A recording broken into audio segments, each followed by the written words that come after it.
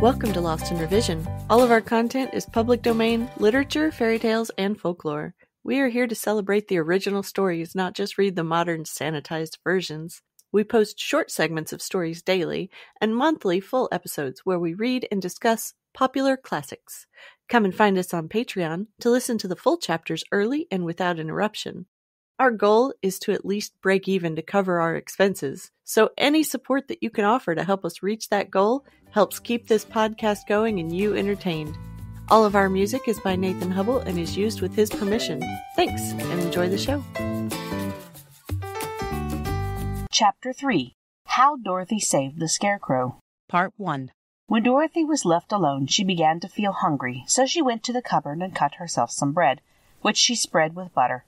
She gave some to Toto, and taking a pail from the shelf, she carried it down to the little brook and filled it with clear, sparkling water. Toto ran over to the trees and began to bark at the birds sitting there. Dorothy went to get him and saw such delicious fruit hanging from the branches that she gathered some of it, finding it just what she wanted to help out her breakfast. Then she went back to the house, and having helped herself and Toto to a good drink of the cool, clear water, she set about making ready for the journey to the City of Emeralds. Dorothy had only one other dress, but that happened to be clean and was hanging on a peg beside her bed.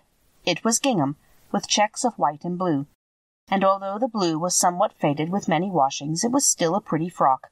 The girl washed herself carefully, dressed herself in the clean gingham, and tied her pink sunbonnet on her head. She took a little basket and filled it with bread from the cupboard, laying a white cloth over the top. Then she looked down at her feet and noticed how old and worn her shoes were. They will surely never do for a long journey, Toto, she said. And Toto looked up into her face with his little black eyes, and wagged his tail to show he knew what she meant. At that moment Dorothy saw lying on the table the silver shoes that had belonged to the Witch of the East. I wonder if they will fit me, she said to Toto. They would be just the thing to take a long walk in, for they would not wear out. She took off her old leather shoes and tried on the silver ones, which fitted her as well as if they had been made for her. Finally she picked up her basket. Come along, Toto, she said. We'll go to the Emerald City and ask the Great Oz how to get back to Kansas again. She closed the door, locked it, and put the key carefully in the pocket of her dress. And so, with Toto trotting along soberly behind her, she started on her journey. There were several roads nearby, but it did not take her long to find the one paved with yellow bricks. Within a short time she was walking briskly toward the Emerald City, her silver shoes tinkling merrily on the hard yellow roadbed. The sun shone bright and the birds sang sweetly, and Dorothy did not feel nearly so bad as you might think a little girl would who had been suddenly whisked away from her own country and set down in the midst of a strange land.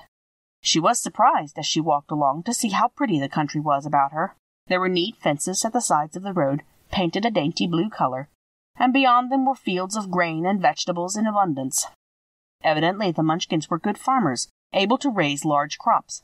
Once in a while she would pass a house, and the people came out to look at her and bow low as she went by, for everyone knew she had been the means of destroying the wicked witch and setting them free from bondage. The houses of the Munchkins were odd looking dwellings, for each was round, with a big dome for a roof. All were painted blue, for in the country of the East blue was the favorite color. Toward evening, when Dorothy was tired with her long walk and began to wonder where she should pass the night, she came to a house rather larger than the rest. On the green lawn before it, many men and women were dancing. Five little fiddlers played as loudly as possible, and the people were laughing and singing, while a big table near by was loaded with delicious fruits and nuts, pies and cakes, and many other good things to eat. The people greeted Dorothy kindly and invited her to supper and to pass the night with them, for this was the home of one of the richest Munchkins in the land, and his friends were gathered with him to celebrate their freedom from the bondage of the Wicked Witch. Dorothy ate a hearty supper, and was waited upon by the rich Munchkin himself, whose name was Boq. Then she sat upon a settee and watched the people dance. When Boq saw her silver shoes, he said, You must be a great sorceress. Why? asked the girl.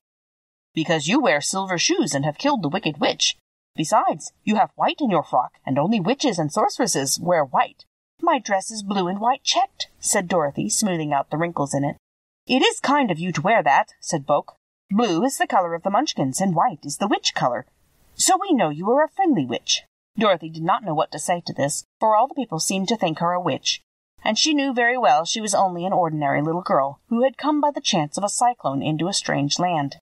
When she had tired from watching the dancing, Boq led her into the house, where he gave her a room with a pretty bed in it. The sheets were made of blue cloth, and Dorothy slept soundly in them till morning, with Toto curled up on the blue rug beside her. She ate a hearty breakfast, and watched a wee Munchkin baby who played with Toto and pulled his tail and crowed and laughed in a way that greatly amused Dorothy. Toto was a fine curiosity to all the people, for they had never seen a dog before. Thanks for joining us today.